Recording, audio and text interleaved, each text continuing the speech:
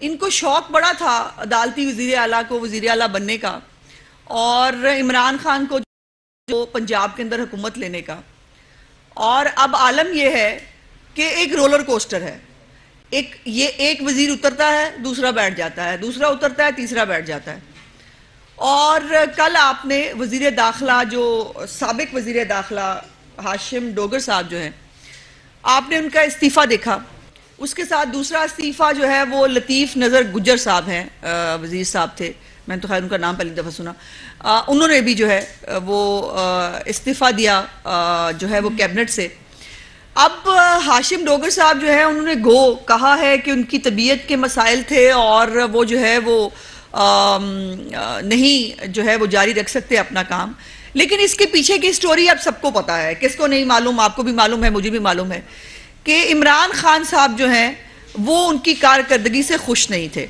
और परवेज लाई साहब जो हैं उनको भी बड़ा शौक था कि वो भी आ, उनको वैसे ही हर एक की तजहीक करने का हर एक के आ, जो है वो खिलाफ बोलने का आ, उनको शौक है। वो सुना था बड़ी रवादारी पता नहीं कहाँ है कौन सी रवादारी थी परवेज लाई के अंदर जिसकी लोग बात किया करते थे। मैंने तो उन उसके अंदर कभी भी कोई रवादारी नहीं देखी। जो रवैया ख़ास तौर पे पिछले चार साल में परवेज लाई का एज ए स्पीकर और उसके बाद जो है वो एज ए वज़ीर आला जो अब हम देख रहे हैं। अब कारकर्दगी जो है मैं समझती हूँ कि हाशिम डोगर साहब की कारकर्दगी क्या नहीं किया उन्होंने। उन्होंने कहा मुकदमात बनाओ आपने कहा मुकदमात बनाओ उन्होंने। तोहन मज़हब के ऊपर जो है वो आ, मरियम औरंगज़ेब जावेद लतीफ़ और बाकी जो पीटीवी के आ, हमारे लोग हैं उनके खिलाफ आपने एफआईआर कर, करवाई। सिर्फ़ इस बात के ऊपर कि उन्होंने वो क्यों कहा जो इमरान खान कहते हैं? और उन्होंने इमरान खान को अकल और मत देने की कोशिश क्यों की? इस ये मुकदमात उन्होंने कायम किए। फिर शहबाज गिल को अडियाला जेल के अंदर जितनी सकती थी वो उन्होंने दी। और ये एक जुमला उनके मुँह से ज़रूर सच का निकल गया। सच तो सच है उसको बाहर आना होता है। सच से ज़रूर जुमला बाहर निकल गया कि उनके ऊपर कोई तशद नहीं हुआ।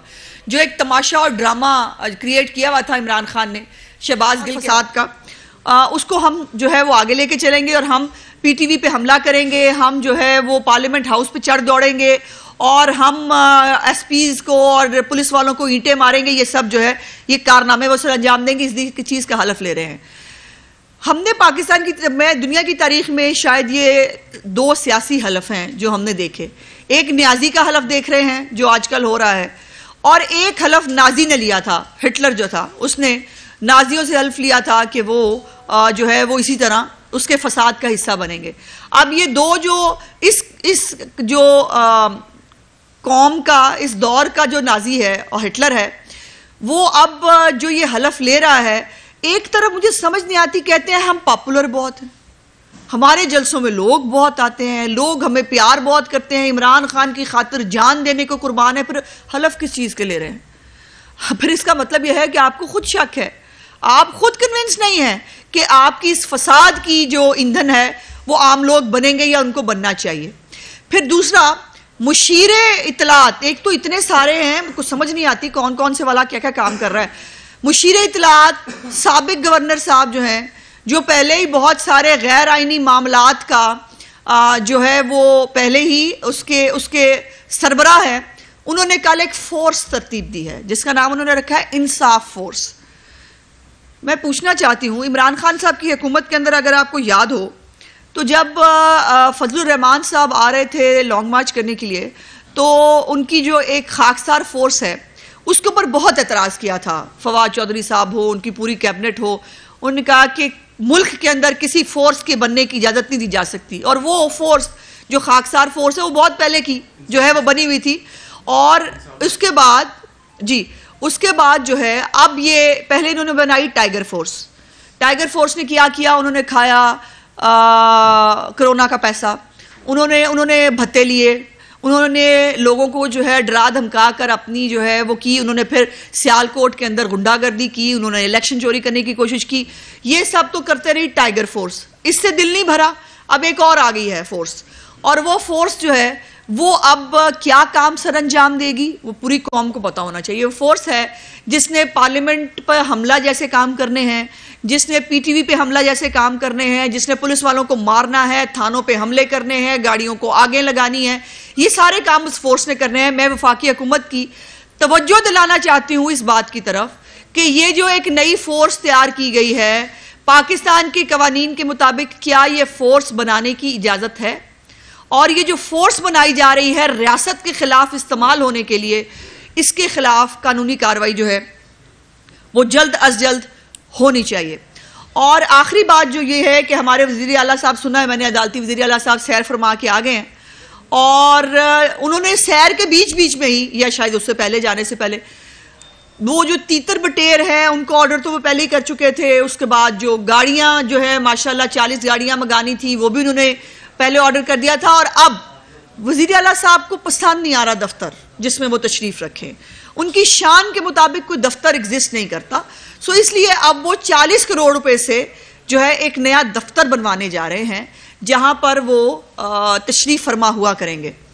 मेरा सवाल है कि परवेज लाई साहब की शान इतनी बुलंद क्यों है? क्या इन परवेज लाई साहब को या उनकी स्टपनी को आपने कहीं सलाब जदगान के इर्द गिर्द देखा है? क्या सलाब जदगान के लिए क्या किया है आज तक? पंजाब हुकूमत ने इसका जवाब दें। सैलाब जदगान के लिए आज तक जो है, पंजाब हुकूमत की क्या कारकर्दगी है उसका जवाब दें। और आखिरी बात जो इस हवाले से मुझे करनी है। इमरान खान साहब ने बकौल इनके पता नहीं कितने अरब रुपया इकट्ठा कर लिया है। मज़े की बात यह है, वो जो अरब रुपया इकट्ठे करता है, वो घड़ियाँ चोरी करके घर ले जाता है। मतलब कमाल है, पहला चोर देखा है। कि जो जिसको, उनके कहने के मुताबिक अरबों रुपया मिल जाता है खैरात के तौर पर, जिसको खाने में वो एक मिनट नहीं लगाते वो जो है वो घड़ियाँ घड़ियाँ भी चोरी करने से बाज नहीं आते। अब मेरा सवाल ये है कि इनको कितने अरब आए? अरब, अलिफ रे, बे की बात हो रही है। कितने अरब आए और वो अरब कहाँ लगे? इसका सवाल यकीनन जवाब हम, और जब एक आदमी पहले ही फॉरेन फंडेड फितना साबित हो चुका हो, जब वो फॉरेन फंडिंग के ज़रिए, जिसकी पहले एक हिस्ट्री है, कि वो जक़ात और खैरात खाने का आदि है, जिसने पहले पुकार फंड के थ्रू, जो सेल, जो उस वक़्त जलजिला, जो जदगान है, उनके नाम पे इसने पैसे इकट्ठे किए थे, आज तक उसका भी कोई हिसाब ये आदमी नहीं दे सका। तो आज हम ये, आपको पता है ना, ये बहुत बड़े बड़े दावे करते हैं कि वो हमारे पास हर चीज़ का सबूत है, हर चीज़ का सबूत है, लेकिन इलेक्शन कमीशन में जाके सबूत देना नहीं है। जब वो बार बार आपसे मांग रहे हैं कि अपनी फॉरेन फंडिंग का जवाब दें एफ़ आई ए आपसे मांग रही है कि जो आपने मनी लॉन्ड्रिंग की है कागजात के मुताबिक, जो बैंक्स के थ्रू आपने पैसे हुंडी हवाला के ज़रिए मंगाए, और जो बैंक्स के थ्रू आपको पैसे ट्रांजेक्शन आए, जिसका आपने खुद डिक्लेयर नहीं किया, उसका जवाब दें। जब ये रिकॉर्ड मौजूद है तो मैं कैसे मान लूँ कि उतने अरब, जितने अरब ये कह रहे हैं, वो अरब अगर इकट्ठे हुए हैं तो फिर वो लगे कहाँ हैं? उसका आपने, इमरान खान ने जितने पैसे सैलाब जदगान के नाम पे इकट्ठे किए हैं, मैं कैटेगोरिकली कह रही हूँ, इमरान खान वो पैसे अपने फितना फसाद प्रोग्राम पे लगाएगा। ये पैसे सैलाब जदगान के लिए इकट्ठे नहीं किए गए थे। अगर कोई इकट्ठे हुए हैं, अगर कोई ओवरसीज जो है, वो अभी भी इमरान खान की मोहब्बत में पागल है कि जिन्होंने इसको चंद पैसे दे दिए हैं, वो पैसे ये फिर इस्लामाबाद प्लान पे लगाएगा। उस इस्लामाबाद प्लान पे जिस पे ये रियासत को चैलेंज कर रहा है, रियासत को सीज करने की बात कर रहा है, रियासत पे चढ़ाई की बात कर रहा है, आखिर इसके ऊपर अरबों रुपया लगेगा ना? और इस अरबों रुपए का इंतज़ाम इमरान खान ने सलाब जदगान के नाम से किया है। और वो पैसे जो हैं, वो अब इस, जो इस्लामाबाद प्लान है उसके ऊपर इस्तेमाल होंगे। इसलिए मैं समझती हूँ कि इसके इस पूरे प्रोजेक्ट को जो इसने सैलाब जदगान के नाम पे किया है, उसका भी जवाब दे, उसका भी ऑडिट होना चाहिए। हमारे सामने पब्लिकली वो तमाम रकूम की तफसीलात आनी चाहिए कि इस आदमी को कितने पैसे कहाँ से इकट्ठे हुए। अगर भारतीय शहरी इमरान खान को सियासत के लिए पैसे देकर अगर इसको लीडर बनाने की कोशिश कर रहे थे, न जाने अब इस्लामाबाद पे जो है वो चढ़ाई करने के लिए कौन कौन इसको सपोर्ट कर रहा है। कौन कौन सी लॉबीज है जो चाहती हैं कि पाकिस्तान के अंदर जो है वो जमहूरियत ड्रिल हो? वो चाहती है कि पाकिस्तान का इस्लामाबाद जो है वो इस तरह के दहशत गर्दों का जो है वो जत्था हमलावर हो? तो इस बात को देखना बहुत ज़रूरी है कि सैलाब जदगान के नाम पर जो पैसे इमरान खान ने इकट्ठे किए हैं, अव्वल तो वो कितने हैं? पहला सवाल। बड़े कैटेगोरिकली तीन सवाल हैं। पहला सवाल, इमरान खान ने कितने पैसे इकट्ठे किए? दूसरा सवाल, इमरान खान के ये पैसे जो हैं, उसका उसका नाम डोनर समेत सामने आना चाहिए कि इमरान खान को किस किस ने कितने पैसे दिए। तीसरा और आखिरी मुतालबा मेरा ये है कि इमरान खान के इन तमाम पैसों का ऑडिट होना चाहिए। ये पैसे इसने जो लिए हैं, ये वो कहाँ खर्च कर रहा है, कहाँ खर्च होंगे, इन तमाम चीज़ों को ऑडिट होना बहुत ज़रूरी है, क्योंकि पाकिस्तान कौम को बार बार ये आदमी चूना लगा के भाग जाता है। और मैं इस बात की मुझे बहुत खुशी है कि पाकिस्तान के अंदर जो इसको पैसा इकट्ठा करने की इसकी मुहिम है, वो कामयाब नहीं हुई। और हमने सुना है वो हाँ वैसे ये भी है, वो ओवरसीज़ के ज़रिए जो है, वो जो इसने कॉल्स कराई थी उस ओवरसीज के अंदर एक कॉल वो भी आई जिसमें उसने कहा उसने कहा कि जी, आपने 40 करोड़ के पता नहीं किसका वादा किया था। उसने कहा, वो वादा मैंने रात को किया था, मुझे क्या पता मैंने क्या वादा किया था। तो इस तरह के वादे भी इमरान खान साहब के साथ हुए हैं। सो बेहतर है कि इमरान खान साहब इसकी तफसीलात पब्लिक के सामने लेके आए, चूँकि ये पब्लिक मनी है। ये अवाम ने पैसा दिया है सो अवाम को जानने का हक है, ये पैसा कहाँ से आया है, ये कहाँ लगेगा, और ये पैसा किस किसने दिया है। बहुत शुक्रिया जी।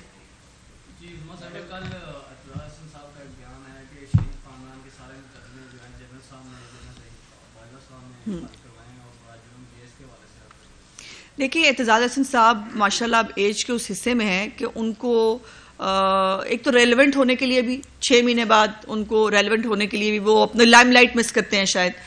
और दूसरा, वो ज़ाहिर है आजकल अर्जी लिए फिर रहे हैं कि उनको या उनकी बेगम साहिबा को जो है लाहौर से टिकट दे दिया जाए, ताकि जो है वो दोबारा जो है वो किसी तरह असम्बली में पहुँच पाएँ। तो वो रेलिवेंट होने की कोशिश करते हैं। अगर उनके पास इन बातों के सबूत हैं तो वो ज़रूर लेके आए, सामने लेके आए। और बगैर जो है वो सबूत के इल्ज़ाम लगाना तो वो इल्ज़ाम खान की यकीनन उसकी पटरी पे चल रहे हैं। लेकिन थोड़ा सा मेरा ख्याल है कि मेरे बुज़ुर्ग भी हैं, उनको थोड़ा सा अपनी एज का लिहाज करना चाहिए। अगर हम उनको उसी तरह का जवाब दें जो वो डिज़र्व करते हैं तो मेरा ख्याल है मुनासिब नहीं होगा।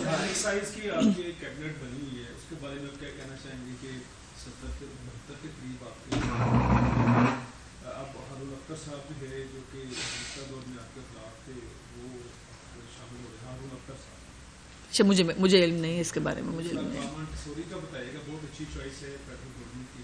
नहीं नहीं फेडरल गवर्नमेंट की चॉइस नहीं है सर वो आपको मालूम है कि वो एम क्यू एम क्या जो है वो कैंडिडेट आना था। ये जब गवर्नमेंट बन रही थी तभी उनके साथ ही हमने डिसाइड किया था। सो ये उनकी चॉइस है उन्होंने किसको जो है वो चुनना था। और इसके बारे में ज़ाहिर है अगर एम क्यू एम जवाब दे तो ज़्यादा बेहतर होगा। अच्छा,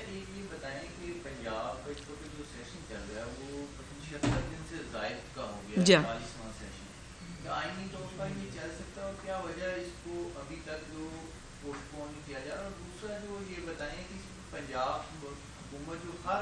मलबा वफाकी हुकूमत पर डाल रही है जो एक रोशन ऐप जो गई, वो भी बहाल नहीं की गई पंजाब हुकूमत की जानते। हर वफाकी हुकूमत पर डाल रही है महँगाई वफाकी हुकूमत है या पंजाब कुछ कर सकती है हुकूमत? देखिए बड़े अच्छे सवाल हैं आपके दोनों। पहली तो बात यह है कि महँगाई के हवाले से पहले बात कर लेते हैं। महँगाई जो है खालिस्तन सूबाई सब्जेक्ट होता है। अगर प्राइस कंट्रोल कमेटियाँ मौजूद हों, अगर अवामी नुमाइंदे जो हैं, वो प्राइसेस जो है, वो चेक कर रहे हों, अगर जो महँगाई के नाम के ऊपर जो गैर ज़रूरी महँगाई की जाती है, अगर पंजाब हुकूमत या बाकी हुकूमतें जो हैं, उसको देखने के काबिल हों तो महँगाई के अंदर खातिर खा कमी जो है वो लाई जा सकती है, जो ओवर प्राइसिंग है ओवर बिलिंग है, जो इस किस्म की चीज़ें लोग करते हैं, उसके ऊपर जो है वो की जा सकती है। और दूसरी, पंजाब असम्बली की जो बात है इस वक्त क्या पूरा सुबह आइनी तौर पर चल रहा है? जो आप पंजाब असम्बली के बारे में पूछ रहे हैं, ना सुबह आइनी तौर पर चल रहा है, चूँकि सूबे का वज़ीर आला जो है वो इमरान खान है। और परवेज लाई साहब को उनकी हैसियत के मुताबिक जो है वो एक दफ्तर दिया हुआ है, बस वो उसमें बैठते हैं। बाकी इस सूबे का वज़ीर आला इमरान खान है। और वो दंदनाता फिरता है रोज़। आज भी मेरा ख्याल है वो शर फैलाने जो है वो लाहौर आ रहे हैं। और आज भी वो शर फैला के, लाहौर के जो टैक्स पेयर की मनी है नाइन्टी शायरा कायद आज़म बादशाह सलामत के लिए इस्तेमाल होता है। एट क्लब के दरवाजे उनके लिए खुलते हैं उनके लिए खाने पकते हैं उनके लिए वहाँ पर जो है वो आ, फुल फ्लैज जो है हमारे टैक्स पेयर की जो आ, आ, मनी है वो बादशाह सलामत के लिए जो है वो इस्तेमाल होती है। और भले मुझे तो बल्कि तो मुझे लगता है वो जो केक काटा था वो सालगिरह का वो भी मुझे लगता है मेरे पैसों से आया होगा। और वो भी उन्होंने जो है वहाँ पर केक काटा। सो ये खौफ है। अदालती वज़ी अला का जो खौफ है कि अगर उन्होंने अजलास प्रोरोग कर दिया तो फिर शायद उनको अतमाद का वोट ना लेना पड़ जाए।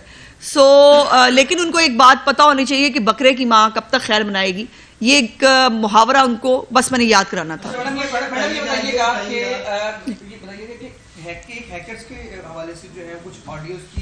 बात भी की ऑडियो आई भी।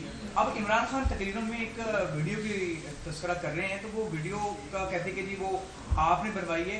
कौन सा सॉफ्टवेयर आप इस्तेमाल करते हैं इमरान खान के खिलाफ वीडियो के लिए और कब वो आ रही है और उसमें है क्या?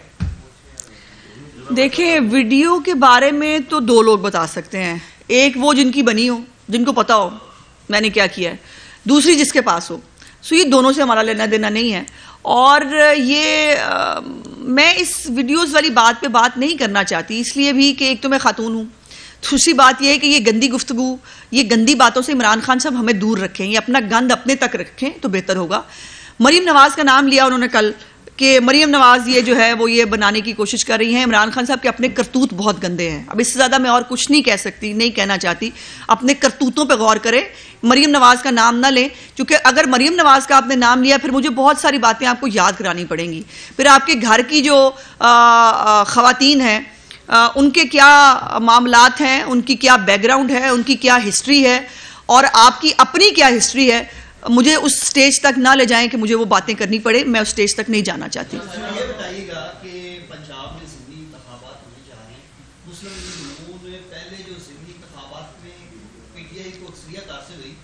आप लोगों ने कहा कि वो उनकी सीटें थी हमने निकाली। हालाँकि इलेक्शन हो रहा था उसमें सारों को मज़ाक एक जैसा है। तो अब जो होने जा रहे हैं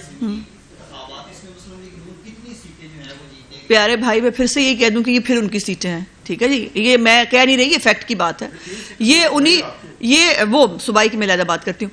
ये जो सीटें जिसमें इमरान खान साहब खुद इलेक्शन लड़ रहे हैं, ये वही सीटें हैं जो उन्होंने 2018 के इलेक्शन में जीती थी।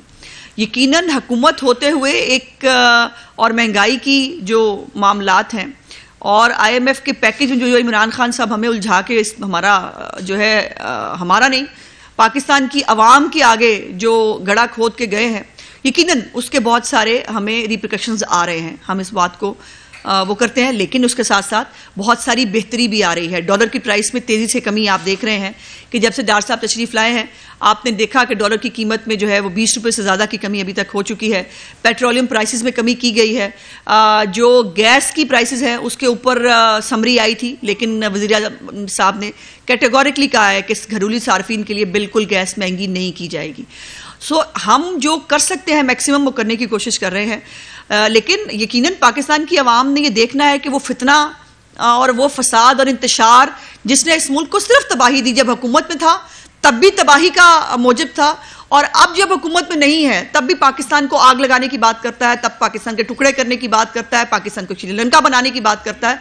सो, पाकिस्तान की आवाम को पाकिस्तान बनाने वाले और पाकिस्तान को उजाड़ने वाले के बीच में फ़र्क जो है वो करना होगा और देखना होगा इंशाल्लाह। मुझे बहुत उम्मीद है कि हम अच्छे रिजल्ट्स लेके आएँगे और जो सूबाई सीटें हैं इन ताला उसके ऊपर मुझे अल्लाह ताला के घर पे बहुत उम्मीद है कि सूबाई सीटें हमारी हैं वो हम ही लेंगे।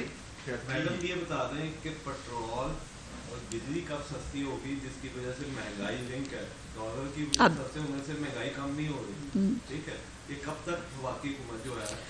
काश मेरे पास काश मेरे पास कोई जो है वो ऐसी आला होता या मेरे पास कोई गैब का इल्म होता कि मैं आपको डेट दे सकती। लेकिन मुझे डार साहब की जो उन्होंने हमेशा क्राइसिस के अंदर हमेशा, अब मेरा सवाल सुन लीजिए, जवाब सुन लीजिए। उन्होंने हमेशा परफॉर्म किया है, वो जब एटमी धमाके हुए थे तब भी। और आपकी इतला के लिए कि पेट्रोलियम प्राइसेस में बारह बारह रुपये से ऊपर की कमी की जा चुकी है पहली दफ़ा।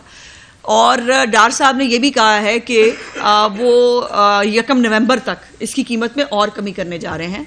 सो हमें बिल्कुल अच्छे की उम्मीद है, पहली बात। दूसरी बात यह है कि बिजली के ये पर यूनिट के हवाले से बहुत सारी सिफारिशात, बहुत सारा होमवर्क हो रहा है कि किस तरह से घरेलू सार्फिन को इसमें ख़ास तौर पर जो है वो अकोमोडेट किया जाए। और दूसरा भाई डॉलर की प्राइस से बिजली की कीमत का भी जो है वो फ़र्क पड़ता है बिकॉज़ उसके साथ जो बिजली के आपके पावर प्लांट्स चलते हैं, उससे डॉलर की प्राइस का फ़र्क पड़ता है। जो हम बाहर से पेट्रोल ख़रीदते हैं, उससे डॉलर की प्राइस का फ़र्क पड़ता है। जो चीज़ें बाहर से आती हैं, उससे डॉलर की प्राइस का फ़र्क पड़ता है। तो डॉलर को बिल्कुल नज़रअंदाज करना, वो शायद मुमकिन नहीं है।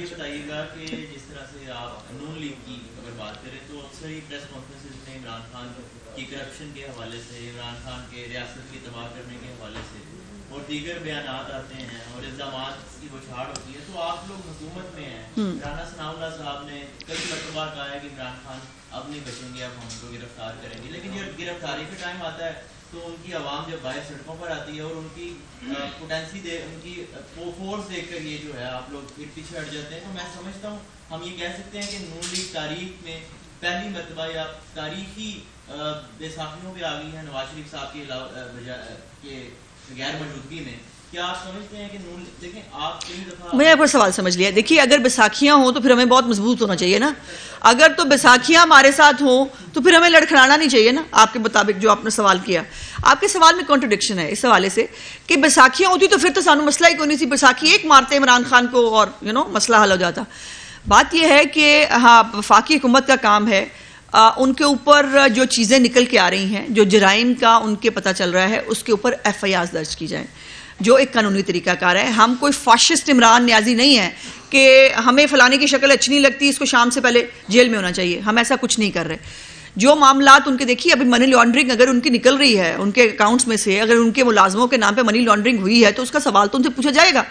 लेकिन वो किसी के जवाबदेही नहीं है। और फिर यह है कि हमारी माशाल्लाह जो अदालतें हैं, वो भी बहुत जल्दी रिलीफ जो है, उनके लिए रिलीफ बड़ी जल्दी आ जाता है। हमें रिलीफ के लिए इंतज़ार करना पड़ता है। हमारी आज तक रिव्यू पिटीशन नहीं लगी अदालती वजी अला के बारे में। हमारी स्पीकर साहब के खिलाफ, जो उनकी इलेक्शन के खिलाफ पंजाब में हुआ था, उसके खिलाफ जो हमारी पटिशन है, वो भी कल उसकी बहुत अरसे बाद अगर लगी गई थी तो बेंच टूट गया, उन्होंने सुनने से इनकार कर दिया। तो अल्लाह करे, हम भी उतने जो है हैंडसम हो जाएँ कि हमारी भी जो है पटिशन सुन के हमें भी जल्दी जल्दी इंसाफ मिलना शुरू हो जाए। एक ही खातून है, एक पहले उसको जी।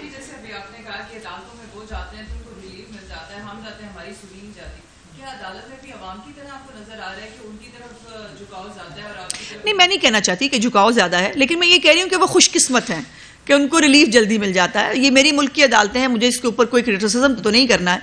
लेकिन फैक्चुअल बात यह है कि हर चीज़ नज़रअंदाज होती है देखे ना इमरान खान को पता नहीं चला होगा उस तक खबर नहीं पहुँची होगी कि उसको वहाँ जलसा करना था और उसने पूरे इस्लामाबाद में आग लगवा दी। अब इसके बाद मैं क्या कहूँ? अब इमरान खान जो है वो दहशतगर्दी का पर्चा उनके ऊपर किया जाए लेकिन दहशतगर्दी निकाल दें। आ, जो है वो आई जी साहब थोड़े मतलब इतने कमज़ोर हैं कि उनको धमकी दी तो वो डर जाएँगे इससे दहशत मतलब इस तरह वो खुशकिस्मत ज़्यादा है। हम ज़रा थोड़े से खुशकिस्मत कम है। जी। कर दिया। उससे पहले उन्होंने ये बयान दिया था कि लॉन्ग मार्च में सरकारी वसाइल इस्तेमाल नहीं हाँ हाँ। उसके बाद परवेज लाई साहब ने कहा कि इनके दिमागी प्रॉब्लम ठीक नहीं इनका इलाज करना चाहिए। कहीं ऐसा तो नहीं है कि बैक डोर में आपने हाशिम डोगर को कर लिया वो नो देखिए अगर अगर पंजाब हुकूमत के एक्सपेंसेस के ऊपर इमरान खान लॉन्ग मार्च करेगा तो वो इलीगल होगा। और, उस इलीगल को हम फिर कोशिश करेंगे कि अदालत से रजू फरमाए चूँकि हम खुद तो सज़ा देने की पोजीशन में नहीं है, हम किसी को सज़ा नहीं दे सकते।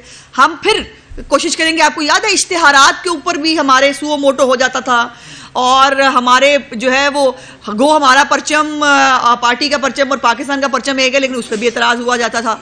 सो, आजकल सब कुछ हो रहा है। आ, किसी को इतराज़ नहीं होता। तो फिर वही बात है कि अल्लाह ताला हमारे भी किस्मत जगा दे ताकि हम भी खुशकिस्मत हो जाएँ। और मरियम नवाज़ जो है वो लंदन चली गई हैं। हमजा शबाज की तबीयत ठीक नहीं है। वो बीमार हैं अलील हैं। तो इस हवाले से आपकी एक पार्टी की तंजीम साजी का अमल जारी था। जी। उस हवाले से बताइएगा आया वो जारी रहेगा। और हम्म। दूसरा पंजाब में जो जिमनी इंतबात हो रहे हैं उस हवाले से भी कौन इसको लीड करेगा? फ्रैंकली स्पीकिंग बयाज साहब ज़ाहिर है, इसके ऊपर थोड़ी हालात चेंज हुए हैं। जहाँ तक तंजीम साजी का मामला है, वो हो रहा है। हमारी जो वेरिफिकेशन करनी थी, हमने यूनियन काउंसिल लेवल पर जो हमने तंजीमें बनाई हैं, वो वेरिफिकेशन का अमल जारी है। हमने मुख्तलिफ़ टीमें बनाई हुई हैं। हर यूनियन काउंसिल के अंदर वो जाती हैं वेरीफिकेशन करती हैं। अब वेरीफिकेशन प्रोसेस के आगे उसको कैसे लेके जाना है, इसका फैसला कुछ दिनों में, इंशाल्लाह लीडरशिप कर देगी। वो आप तक पहुँचा देंगे और जहाँ तक ज़मनी इंतबात की बात है तो इसके बारे में भी हमत अमली जल्दी पार्टी जो है वो डिवाइस कर दे। हम्म। तो अगर इमरान खान ने ये सब करने की कोशिश की जिसका उसका ट्रैक रिकॉर्ड मौजूद है और अगर उसने पाकिस्तान के अंदर फितना फैलाने की कोशिश की तो उस ना सिर्फ़ उल्टा टांगेंगे बल्कि उल्टा टांग के तो जो है वो जो पुलिस का तरीकाकार होता है, फिर शायद वो भी इस्तेमाल करना पड़े।